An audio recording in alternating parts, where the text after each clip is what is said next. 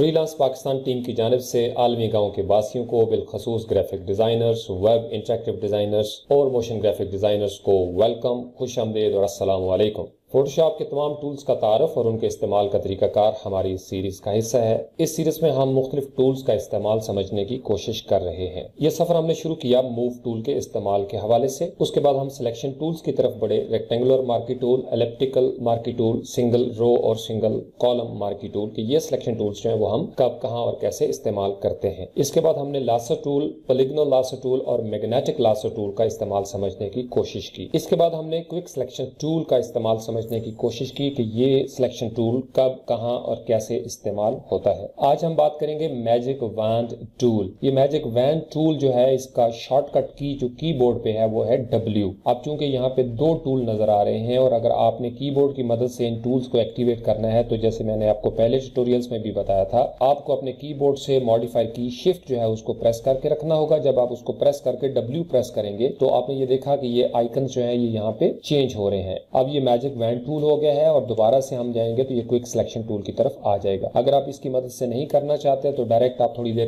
Left click کر کے hold رکھیں تو یہ ایک چھوٹی سی بار اوپن ہو جاتی ہے رائٹ سائڈ پہ۔ یہاں سے بھی آپ ایزیلی سلیکٹ کر سکتے ہیں۔ تو آج ہم بات کریں گے magic wand tool magic wand tool ایک سلیکشن کا ٹول ہے۔ جیسے کہ اس سے پہلے والے سلیکشن ٹولز کے بارے میں بھی ہم دیکھ چکے ہیں۔ اس کے ایکسٹریم لیفٹ سائڈ پہ پری سیٹس کا ایک پینل ہے۔ پری سیٹ سے مراد یہ ہے کہ آپ نے پہلے سے کچھ ایسے آپشنز جو ہیں وہ سیو کر کے رکھ لیے ہوئے ہیں جو آپ کے کام آ سکتے ہیں۔ یہ کچھ بائی ڈیفالٹ ہیں جو فوٹو شاپ میں پہلے سے موجود ہوتے ہیں۔ اگر آپ اپنا کوئی نیا پری سیٹ بنانا چاہتے ہیں تو آپ یہاں پہ کلک کریں گے اور اپنا اپنی مرضی سے کوئی نام یہاں پہ رکھ کے اس کو سیو بھی کر سکتے ہیں۔ اسی طریقے سے یہ چاروں کے چاروں آپشن بھی ابھی تک آپ ان سے فیملیئر ہو چکے ہوں گے کہ یہ چاروں کے چاروں جو سلیکشن کے اندر آپشنز ہوتے ہیں یہ کیا کرتے ہیں۔ سب سے پہلے یہ ہوتا ہے کہ آپ نے ایک نیو سلیکشن بنانی ہے۔ اس کے بعد آپ کا ایڈ ٹو سلیکشن ہے کہ آپ نے ایک سلیکشن کر لی اور اس میں آپ مزید کوئی سلیکشن کرنا چاہتے ہیں تو پھر آپ ایڈ ٹو سلیکشن یہاں سے پریس کریں گے یا کی بورڈ سے آپ شفٹ کی پریس کریں گے تو اس سے بھی آپ کا پلس کا سائن آ جائے گا۔ اس کا مطلب یہ ہے کہ آپ اس کو ایزیلی ایڈ کر سکتے ہیں۔ نیکسٹ ہمارا آپشن جو تھا، یہ سارے سلیکشن ٹولز میں ہم نے دیکھا، یہ ہے سبٹریکٹ فرام سلیکشن یعنی موجودہ سلیکشن میں سے جو سلیکشن آپ نے کر لی ہے، اس میں سے اگر آپ کچھ سبٹریکٹ کرنا چاہتے ہیں مائنس کرنا چاہتے ہیں، تو پھر یا آپ یہاں سے آپشن بار سے اس کو سلیکٹ کریں گے یا آپ اپنے کی بورڈ سے آلٹ کی پریس کر دیں گے، تو اس سے بھی آپ کا عارضی طور پر یہ جو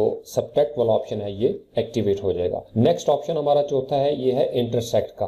انٹرسیکٹ سے مراد یہ ہے کہ دو آپ نے جہاں پہ سلیکشنز بنائی ہوئی ہیں اور ان دونوں سلیکشنز کا جہاں پہ سنگم ہو رہا ہے، جہاں پہ ملاپ ہو رہا ہے، وہ ایریا جو ہے وہ آپ کا رہ جائے گا سلیکشن میں، باقی سارے کے سارا آپ کا جو ہے وہ ایریا ختم ہو جائے گا۔ اس کے بعد میجک وینڈ ٹول میں یہ ایک نئی چیز آئی ہے پوائنٹ سیمپل پوائنٹ سیمپل سے مراد یہ ہے کہ آپ جب سلیکشن کرنا شروع کریں گے تو آپ نے اس کو پوائنٹ کے حساب سے اس کی سیمپلنگ کرنی ہے، یا آپ چاہتے ہیں کہ تین بائی تین یعنی ایک ایوریج انہوں نے ویلیو دے دی ہے، اس کی ویٹ اور ہائٹ میں جو اس کے پکسل ہیں، ان کی ریشو جو ہے، ان کی ایوریج ویلی جو ہے وہ 3 بائی 3 ہو۔ آپ اس طریقے سے سلیکٹ کرنا چاہتے ہیں یا اسی طریقے سے یہ آپ one zero one by one zero one یعنی ویٹ اور ہائٹ پکسلز کی جو ہے اتنے ایریے میں ون زیرو ون کے ایریے میں جتنے آپ کے پکسلز آ رہے ہیں، اس حساب سے یہ سلیکشن جو ہے وہ کرتا چلا جائے گا۔ نیکسٹ آپشن ہے ٹالرنس کا۔ ٹالرنس جیسا کہ برداشت کو کہتے ہیں۔ ٹالرنس کا مطلب یہ ہے کہ آپ کسی ایک ایریا کی سلیکشن کر رہے ہوتے ہیں تو کس حد تک آپ اس کو اجازت دیں گے کہ یہ سلیکشن اپنی پرفیکٹ کرے یا امپرفیکٹ کرے؟ تو نارملی جو بائی ڈیفالٹ ہوتی ہے ویلیو وہ 32 ہوتی ہے۔ اگر کسی جگہ پہ آپ کی سلیکشن ٹھیک نہ ہو رہی ہو تو you can change this tolerance level یہاں سے یہ بالکل سلائڈر ہے۔ آپ اس کو رائٹ یا left left mouse click press کر کے رکھیں اور اس کو آپ رائٹ پہ لے جائیں یا لیفٹ پہ لے جائیں۔ اگر آپ سلائڈر کو موو نہیں کرنا چاہتے تو سمپلی آپ اس کو سلیکٹ کریں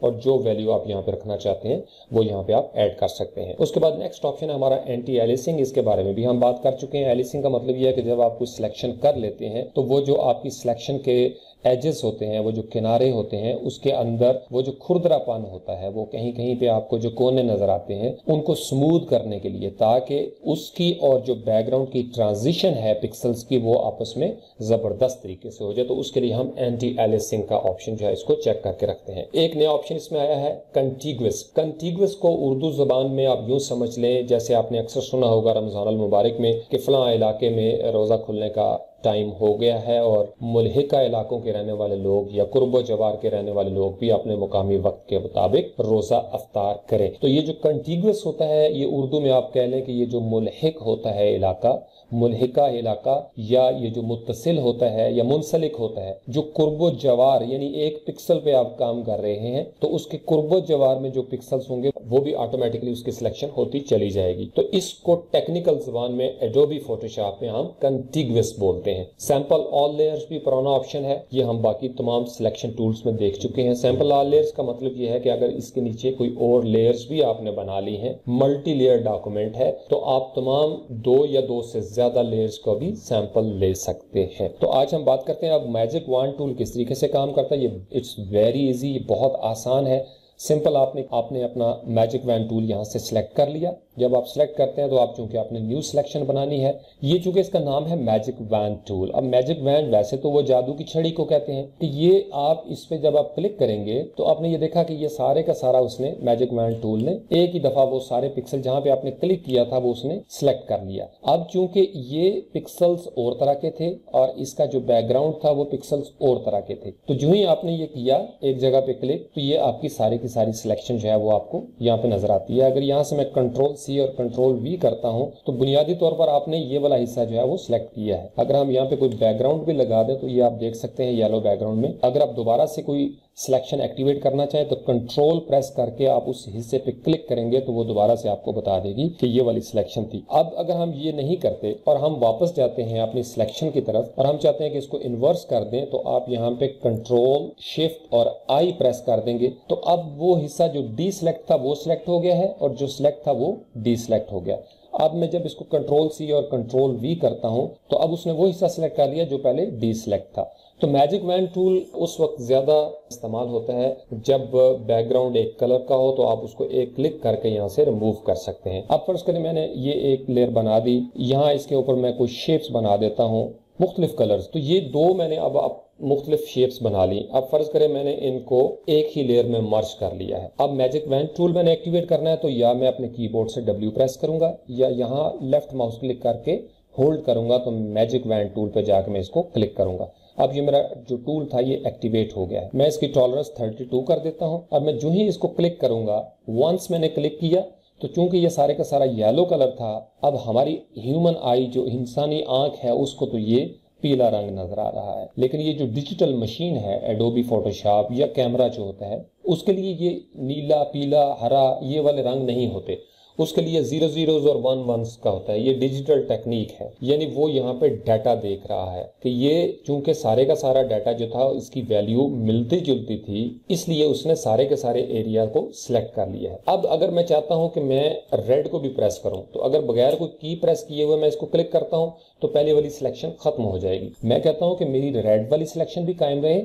اور اس میں میں یلو بھی کروں تو پھر جیسا کہ آپ نے پہلے کئی مرتبہ پریکٹس کر لیا کہ آپ یہاں سے ایڈ ٹو سلیکشن کریں گے یا آپ اپنے کی بورڈ سے جو ہی شفٹ کی پریس کریں گے تو یہ یہاں پہ دیکھیں یہ پلس کا سائن جو ہے یہ آپ کو نظر آنا شروع ہو گیا۔ اس کا مطلب یہ ہے کہ آپ یہاں پہ آپ ایزیلی اس کو بھی ایڈ کر سکتے ہیں یعنی سلیکشن میں ایڈ کر سکتے ہیں۔ تو میں جو ہی اس کو کلک کروں گا، میری پہلے والی سلیکشن بھی برقرار ہے اور اس میں میں نے یالو کو بھی کلک کر دیا۔ اب میں اس کو کنٹرول سی اور کنٹرول وی کر کے تو ایک نئی لیئر میں بنا لیتا ہوں اور یہ میرا جو بیک گراؤنڈ تھا، یہاں پہ جو وائٹ کلر کا، یہ بیک گراؤنڈ چونکہ میں نے سلیکٹ نہیں کیا تھا اور میں نے صرف یلو اور ریڈ کو سلیکٹ کیا تھا، تو یہ سارے اب میرے لیے ٹرانسپیرنٹ ہو گئے ہیں۔ تو یہ ٹوٹل استعمال ہے میجک وین ٹول کا۔ یہ ایک طرح کے جو پکسلز ہوتے ہیں، ایک طرح کی جو ڈیٹا ویلیو ہوتی ہے، اس کو سلیکٹ کرتا ہے۔